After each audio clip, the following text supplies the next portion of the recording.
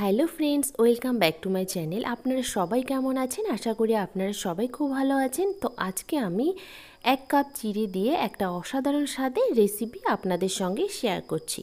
তো চলুন তাহলে দেখে নেওয়া যাক রেসিপিটি। আমি এখানে একটা মিক্সিং বোল নিয়েছি। এতে আমি এক কাপ মতো চিড়ে ঠেলে দিচ্ছি।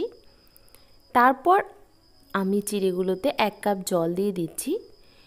তো জল দেওয়ার পর আমি হাত দিয়ে ভালোভাবে ধুয়ে নিচ্ছি চিড়েগুলো। ধুয়ে নিয়ে তারপর আমি জলটাকে ফেলে দিয়ে চিড়েগুলো ভালো করে ধুয়ে নিয়ে আসব। তো চিড়েগুলো ধোয়া হয়ে গেছে, আমি ভালোভাবে জলটাকে ছড়িয়ে দিয়ে দিয়েছি। তো এবার আমি ওই চিড়েগুলোর মধ্যে দিয়ে দিচ্ছি দু চামচ মতো টক দই। তো আপনারা দইটা কিন্তু ইচ্ছে মতো দিয়ে দিতে পারেন, এক চামচ কিংবা দু চামচ। তো আমি দু চামচ এখানে টক দই দিয়ে ভালোভাবে মেখে রেখে দিচ্ছি পাঁচ মিনিটের জন্য। তো আমি রেখে, ঢেকে রেখে দিচ্ছি পাঁচ মিনিটের জন্য। তারপর আমি পাঁচ মিনিট পর ফিরে আসব। তো পাঁচ মিনিট পর ফিরে এসেছি। এখানে কিন্তু দেখুন কত সুন্দর ঝুরঝুরে হয়ে গেছে। দইটা এবং চিড়ে মিক্স হয়ে গেছে। তো এবার আমি ওতে দিয়ে দিচ্ছি আলু মাখা। তো আমি এখানে একটা বড় সাইজের আলু নিয়েছি। তারপর দিয়ে দিচ্ছি পরিমাণ মতো লবণ। তো আপনারা কিন্তু লবণটা স্বাদ বুঝে দেবেন। আর দিয়ে দিচ্ছি এক প্যাকেট মেঘি মশলা। এবার আমি সবগুলো উপকরণ হাত দিয়ে ভালোভাবে মেখে নিচ্ছি।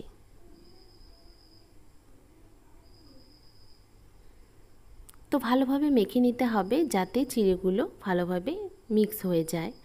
তো মাখা হয়ে গেছে, এবার আমি এখানে অ্যাড করছি তিন চামচ মতো বেসন। তো বেসনটা আমি বাইন্ডিংয়ের জন্য দিয়ে দিচ্ছি। তো এখানে আপনারা কিন্তু আটাও ব্যবহার করতে পারেন। তো বেসন দিলে আরও বেশি মুচমুচে হবে। তার জন্য আমি এখানে তিন চামচ বেসন দিয়ে দিচ্ছি, দিয়ে আবারও আমি মেখে নিচ্ছি। তো বেসনটা মাখা হয়ে গেছে, এবার আমি অ্যাড করছি একদম কুচি কুচি করে কেটে নিয়েছি পেঁয়াজ। পেঁয়াজ কুচনে দিয়ে দিচ্ছি একটা ছোট সাইজের পেঁয়াজ আর দিয়ে দিচ্ছি চিলি ফ্লেক্স তো আপনারা কিন্তু ঝালটা পরিমাণ বুঝে দেবেন, আর যদি আপনাদের মনে হয় আপনারা লঙ্কা ব্যবহার করতে পারেন, এখানে কাঁচা লঙ্কা দিয়ে দিতে পারেন লঙ্কা কুচি। তো আমি যেহেতু চিলি ফ্লেক্স দিয়েছি, তাই আমি ঝালটা একটু কম দেওয়ার জন্য আমি আর কোনো কাঁচা লঙ্কা ব্যবহার করিনি।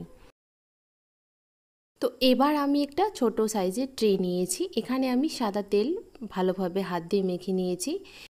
তো তারপর আমি সব মিক্সগুলো এবার এভাবে চেপে চেপে দিয়ে দিচ্ছি এক সাইড থেকে, এক সমান করে চেপে চেপে দিয়ে দেব। আর উপরটা কিন্তু আপনারা খুব সাবধানে এক সমান করে চেপে চেপে দিতে হবে।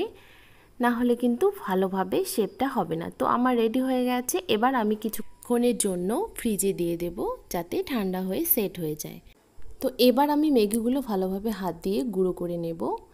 তো গুঁড়ো হয়ে গেলে এবার আমি ফ্রিজ থেকে বের করে এভাবে শেপ করে কেটে নিয়ে এক চামচ আটা জল দিয়ে আমি ব্যাটার বানিয়ে নিয়েছি। এখানে ব্যাটারে চুবিয়ে নিয়ে তারপর আমি ম্যাগির মধ্যে কোট করে নেব।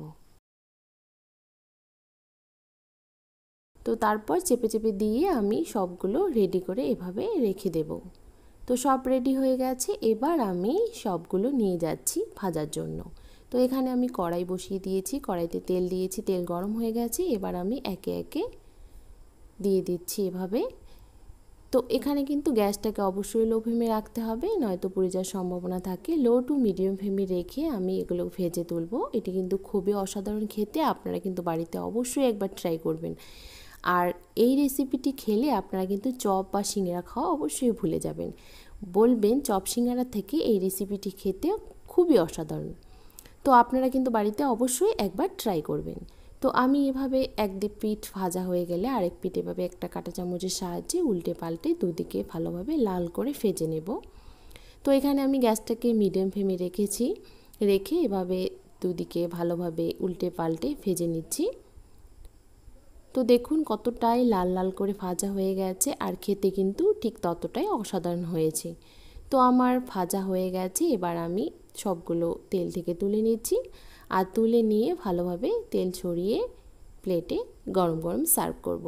তো আমি ভালোভাবে তেলটাকে ছড়িয়ে নিচ্ছি, নিয়ে আমি প্লেটে নামিয়ে নিচ্ছি। তো আমার ভিডিওটি কেমন লাগল আপনারা কিন্তু অবশ্যই কমেন্ট করে জানাবেন। আর আমার ভিডিওটিতে প্লিজ লাইক করে দেবেন। আর আমার চ্যানেলে যদি আপনারা নতুন হয়ে থাকেন, তাহলে কিন্তু চ্যানেলটা অবশ্যই সাবস্ক্রাইব করে দেবেন।